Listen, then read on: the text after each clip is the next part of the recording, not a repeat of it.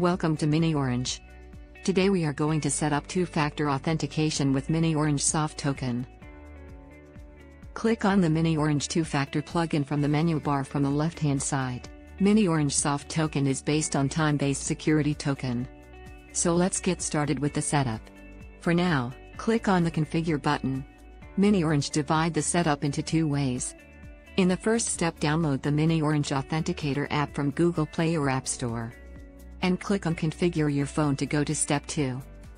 Now, open the miniOrange Authenticator app and click on Add Account. Then scan the given QR code within Authenticator app.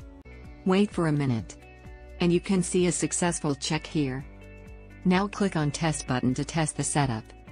Enter the security token shown in the app and click on the Validate OTP button. The test is successful. Now let's try with WordPress login. Enter username and password and click on the Login button.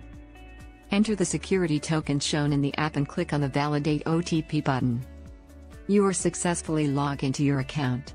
Thanks for watching and check out the premium version of miniOrange today.